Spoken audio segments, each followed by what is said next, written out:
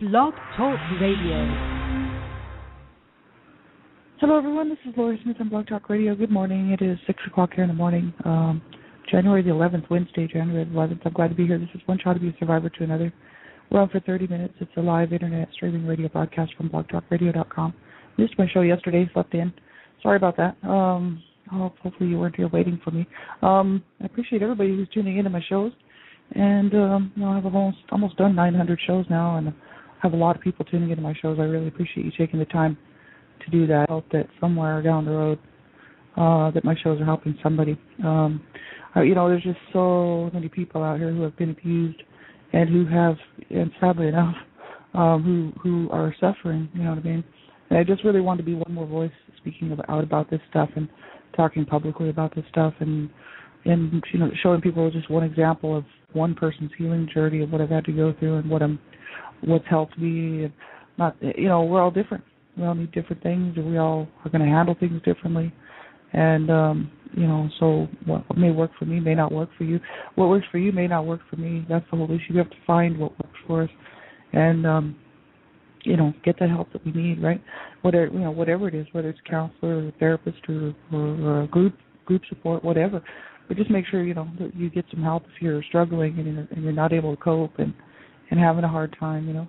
Like i'm uh, five year five years into my healing journey almost and um in a couple of months here it'll be five years and uh, that's a long journey but you know it's been good because i've been able to make make uh, huge progress you know in, in the way that i feel and the way that you know that my daily life is really it's, it's just so much better now you know than it was and i'm on the other side of the fence but but i know what it's like to be on that other side you know just just feeling that there's no hope and that there's just it's just a, a horrible situation you know. I i know what it's like to be there.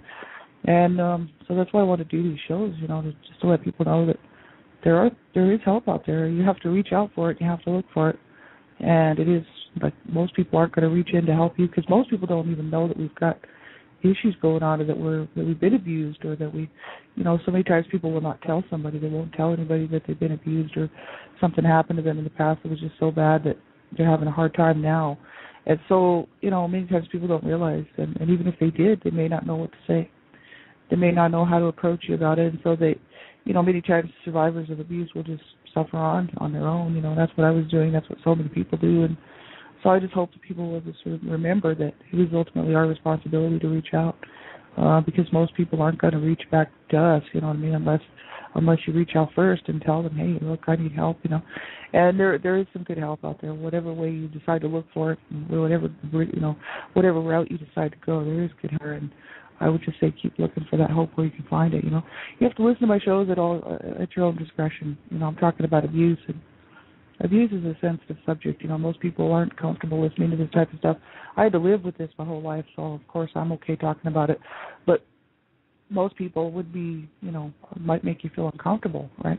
Unless unless you're used to dealing with it or used to hearing about it. So you have to listen at your own discretion to all of my shows. And if you're an, uh, 18 and under, 18, uh, you're 18 years old or under, have an adult listener show with you, somebody who's older, who's who can help you make a decision whether or not you should be listening, right? Age appropriately, because my shows are not for younger children, and none of my shows, and there there's a lot of adult mature material on them, so you need to protect yourself at all times. So if you're 18 uh, and under, make sure you have somebody who's older, who's an adult, who can help you. You know, just have them listen to the show with you.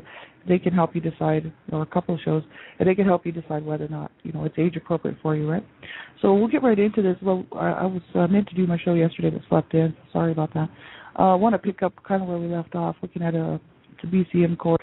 I got it off of Immanuel's church uh, website from um, www.immanuels, I-M-M-A-N-U-E-L-S, immanuels.org. And um, on that website, there's a uh, there's there's a, a biblical counseling course, and for people who who uh, not only may be interested in becoming a biblical counselor, but also those who are seeking biblical counseling. And so there's some great information there. Um, there's a BCM course that you can download. It's a little tiny little uh, download button there that you can download this um, zip file full of uh, PDFs, right? And so I got the PDFs from that download. It's B, B, from BCF, Biblical Counseling Foundation, and um, that's from Immanuel's.org, and I've also been looking at uh, doing some real extensive work in uh, in uh, faith therapy from Free Christian Counseling Training.com. Uh, free Christian Counseling Training, all one word. www.freechristiancounselingtraining.com.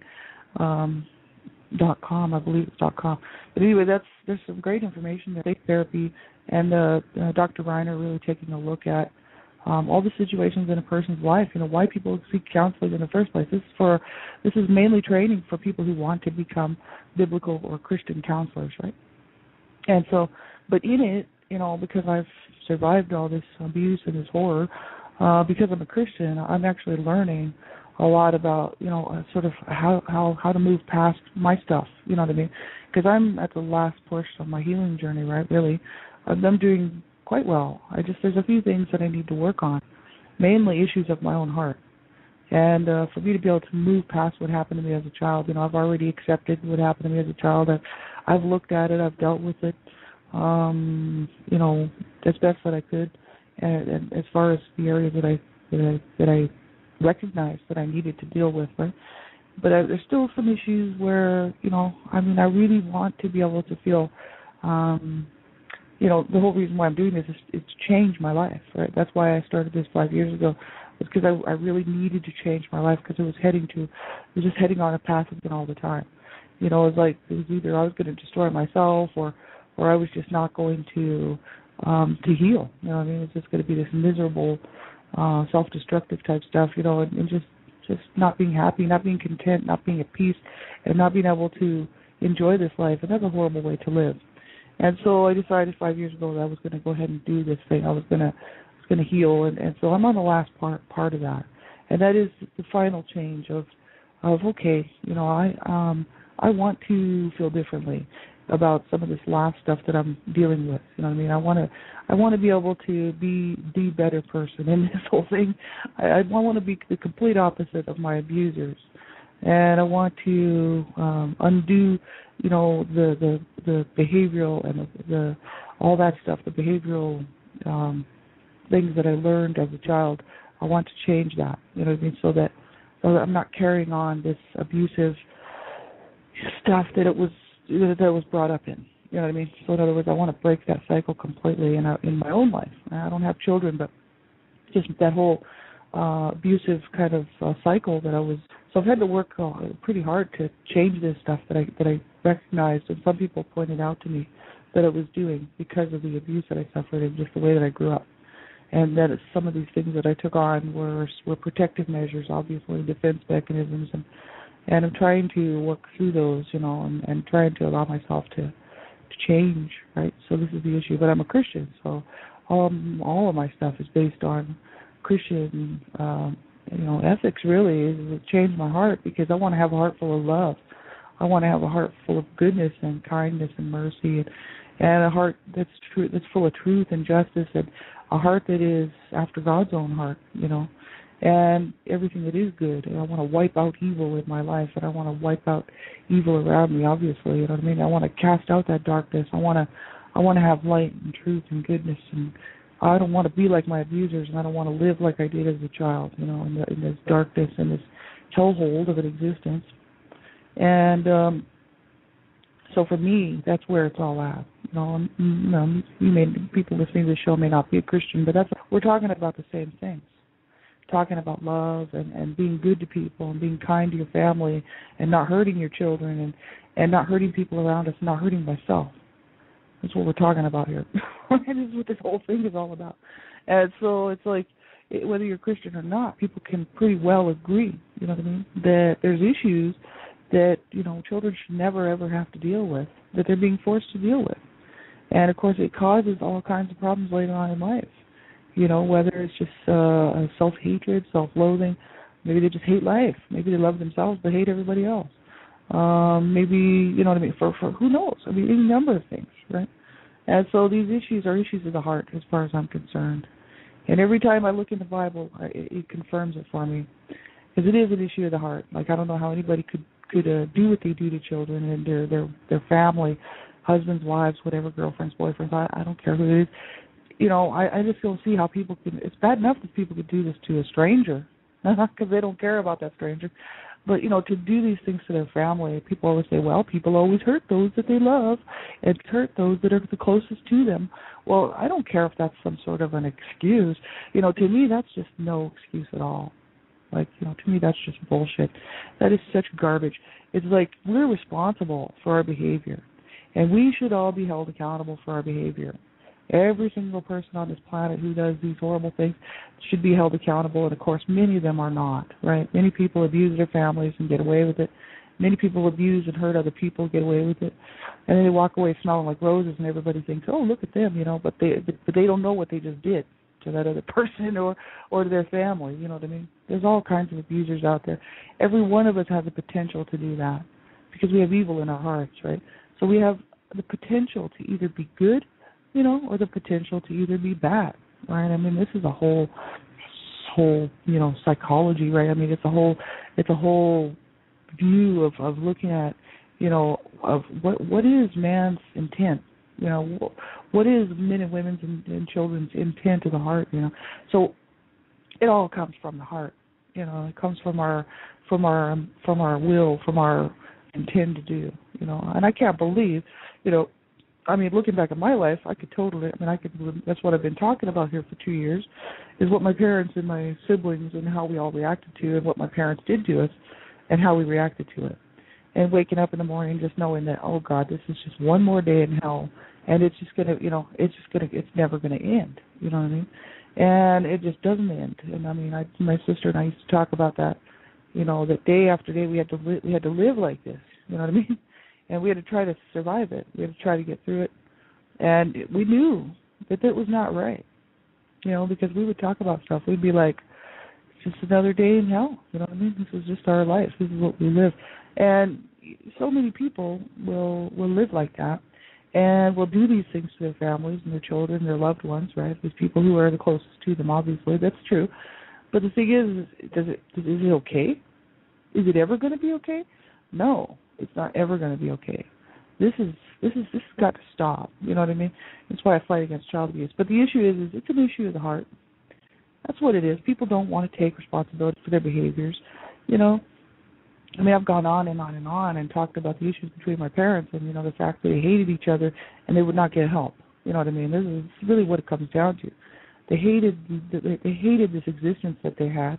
They they hated their lives, right? They hated they hated each other because they were codependent. They were both looking for each other to to meet their needs, and and because it didn't happen, then they they grew hatred for each other and because they were you know like well you were supposed to save me well you were supposed to you were supposed to do this and you were supposed to do that blaming each other steady for everything when each one of them were responsible for their own part in it and so that's where the responsibility part comes in it's like we're all responsible for our part and it's an issue of the heart. How am I going to respond to this situation?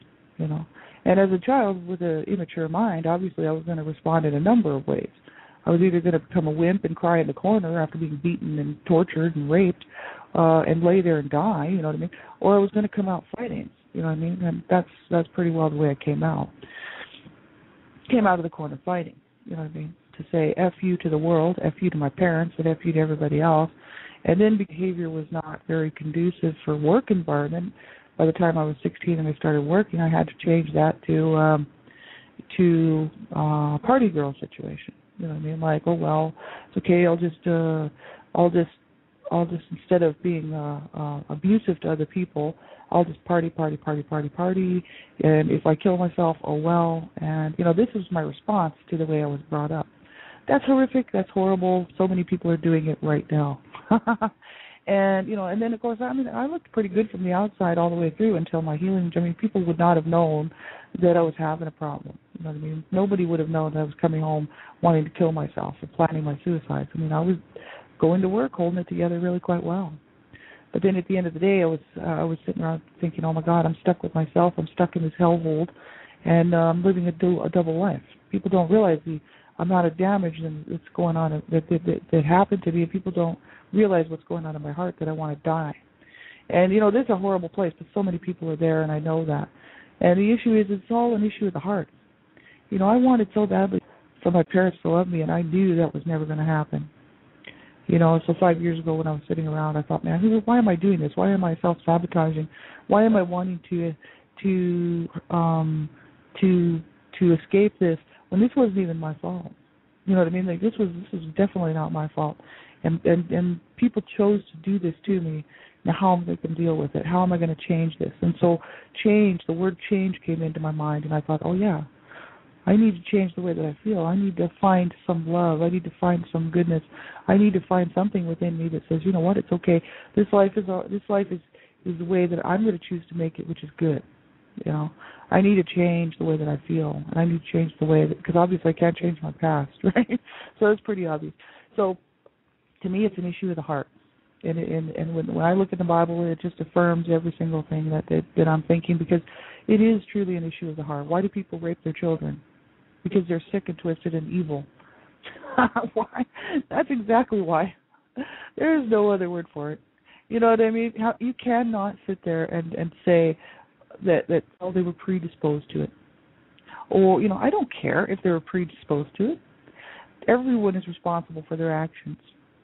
You know, I don't care if they were abused as children. They figure, well, this is what I'll do to my own children or somebody else's child.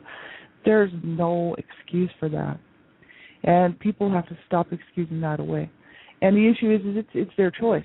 You know, it's their choice to do these horrible things. Why do people stab and kill their children? Sheer evil in the heart, man. Sheer hatred. Sheer something going on in their heart that that causes them to be sick in their heart, sick in their mind, sick in their lives. There's a lot of really sick people out there. I've met so many of them um, sadly enough, and they've affected my life. And uh, it's pretty sad and scary because I have met some really sick people out there, and in my lifetime. And you know, it's like, what do you what do you do? You know, it, this is all evil intent of the heart that that their minds are, are ill, their their their hearts are sick, and they are really literally sick. But not only that, but they're evil as far as I'm concerned, because whatever you got going on in your heart is going to be reflected in your emotions it's going to be reflected in your will, your intent. What are you going to?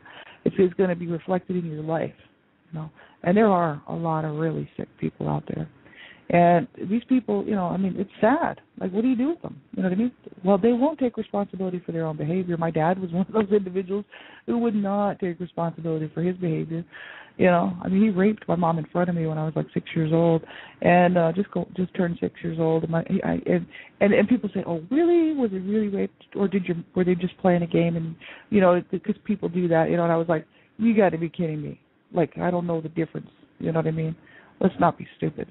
You know, like my dad had been raping my mother for years, and and and hurting her. You know what I mean? And it's like What's the matter with people's minds that they think that that's okay?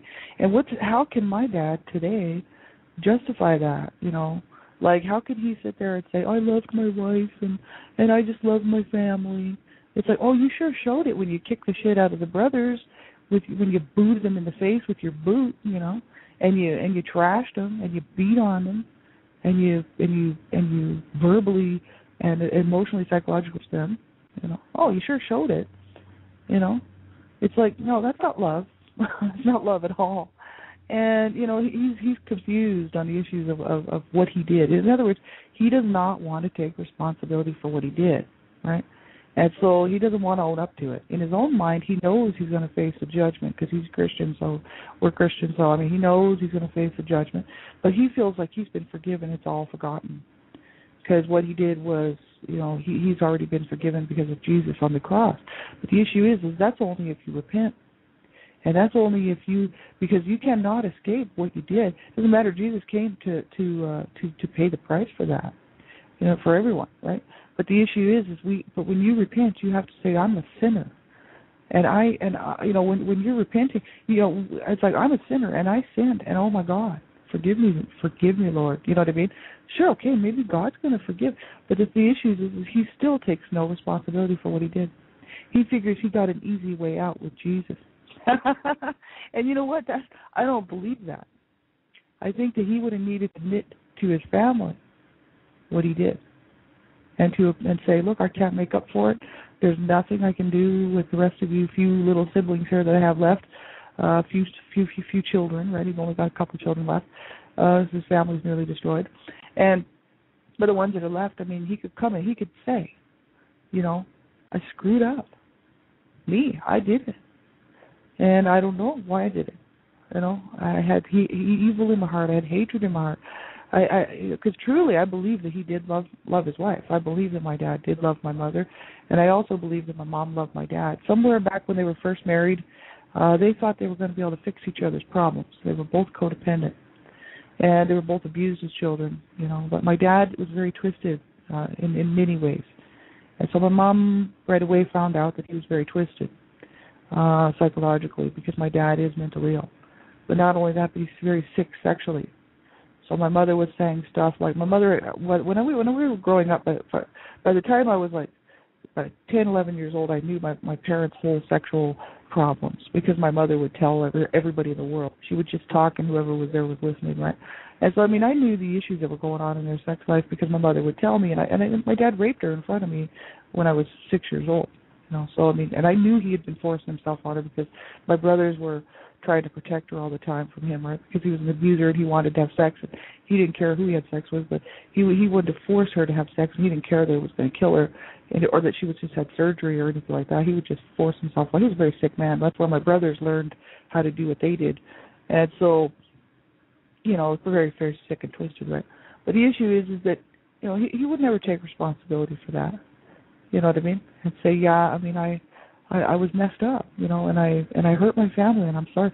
It's always he blames everybody else, and so that's what these this stuff is talking about. These uh, on this course here, and and you can check it out on Immanuels.org, www.immanuels Immanuels.org, or um, Free Christian Counseling Training dot dot com. I, I think it's dot com.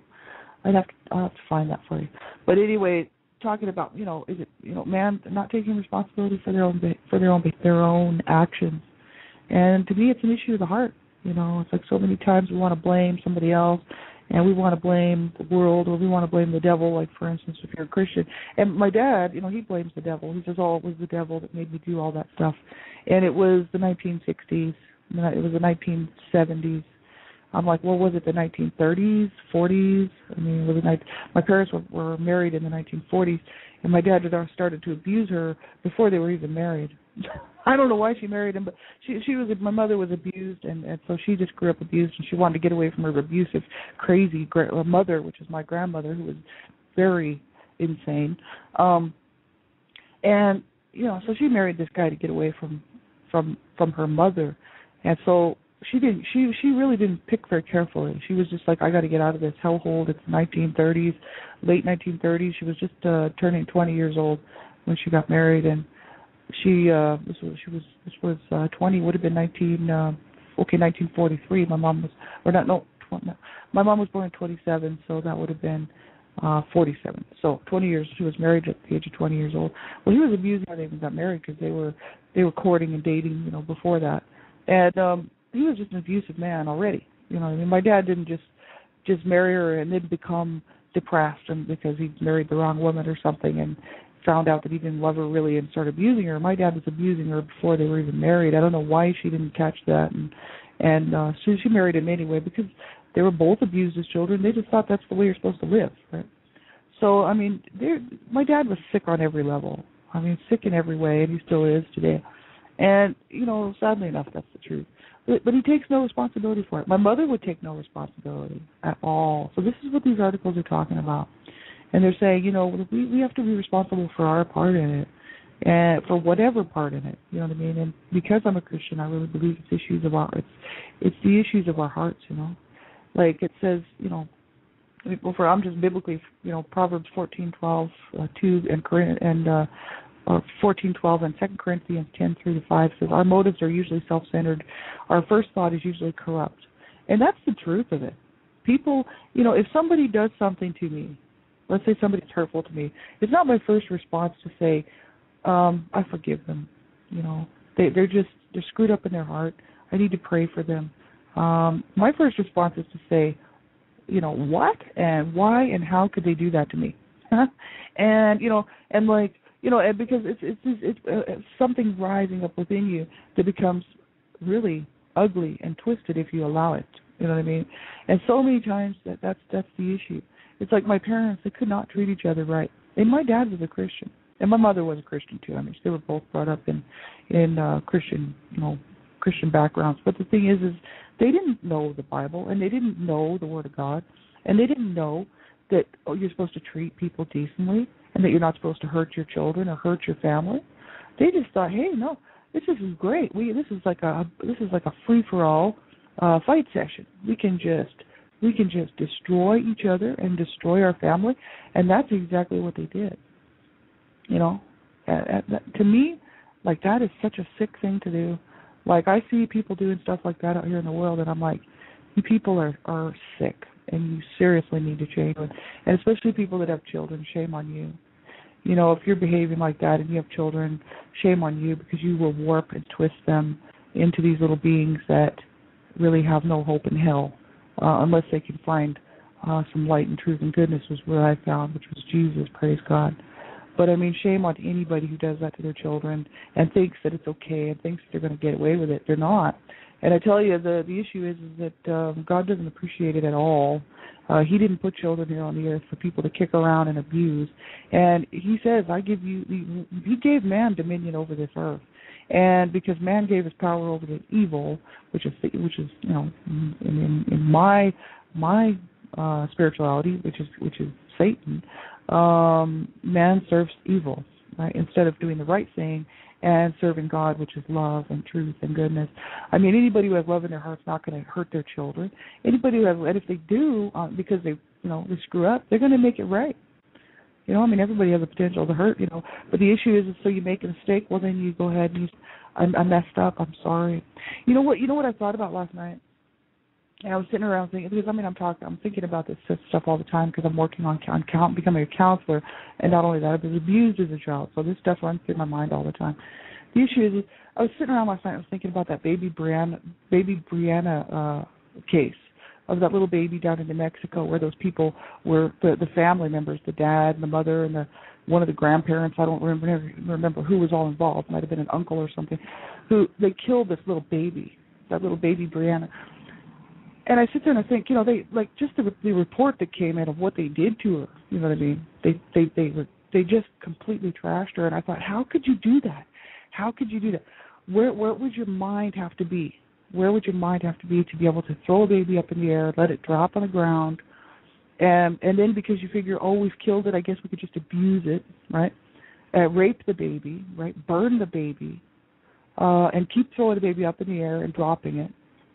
What is going on in somebody's head that's doing that? Like, what is going? They've gotten to the point where that baby, because they they knew they had killed it, their their hearts were wicked and they knew they had killed it, so they figured, oh well, let's just rape it and do whatever we want. You know how sick and twisted and how completely against God that is? And you know there's people out there doing that right now to their babies, to their children. That is so wicked and so evil and so twisted. And if those people think that they're going to get away with that, they got another thing coming. You know, it's like my mother, what she did to me, you know, was just as wicked like in, in God's eyes, it was just as wicked. You know, the horrific treatment that she did to me and her and, and my other siblings, and my dad the same thing. And what they did to each other is just as evil and twisted and, and wicked, because it came out of the same place. It came out of the heart. Like, how can people do these things and then and think they're going to get away with it? Well, some people do walk away on the earth here with no with no uh, pay no no penalty and no paying the price, but they are not going to get away with it in the in eternity and in the in the next life. There, I, I totally, totally believe this, and um, you know, I have every reason to believe it. You know what I mean? Um, and I, it's really it's an issue of what's going on in our hearts. You know, and so this next chapter is an issue of the will. It's our choice to do good or to do evil. We are the cho- we are we are our choices. You know, the issue involves the heart, the inner substance of man. You know, and like God gave us a choice, and He says, "You choose. You're going to serve me, or you're going to serve the devil. It's your choice." So in other words, like he, he allowed us to make our own choices. And so in doing that, who, who are you going to choose? How are we going to walk? How are we going to be? Am I going to have hatred and evil in my heart because my parents screwed me up, or because life has dealt me some blows? It's or am I going to, you know, have a heart full of love and full of full of uh, uh, God after God's own heart? I choose that route. I choose God. I choose Jesus, and I choose love and light and truth. And now other people, you know, have chosen other things, and they still have love and light and truth in their heart, which shows me they have God in their heart. God is love. God is love, man. And, he's, and that's why there's nothing about abuse that equals love. There's absolutely nothing related to it, correlated to it, or or even even that could even be a part of it that is love. It's all coming from hatred. It's all coming from evil. It's all coming from darkness. It's all coming from the devil. It's all coming from the evil intent of the heart. Who are you going to serve? You know. So that's where we all have to make our choices, right? So have a great day, everybody. You know, if you're having a hard time, you know, make sure you reach out and get some help, and do not allow yourself to be destroyed by this. You know, make sure that you reach out. You know, call a crisis line if you can't find somebody to talk to. Many times people are just not available, or they just don't know what to say and they can't help us. Many times people cannot. They don't know. They don't have the answers, and they don't even know how to try to get you the answers. Sometimes, you know, you need to reach out. And so, I mean, even group support's great. I really like that because there's uh, like online group support and group support because there's safety in numbers as far as I'm concerned. But um, be very, you know, make sure that you be, be proactive. You know, make sure that you reach out if you're having a hard time and you're not able to cope and whatnot. Right? Make sure you take care of yourself. And uh, have a great day. We'll talk to you tomorrow. I'll be back on tomorrow morning, same time, same place. Have a, a good day, everybody. Talk to you soon.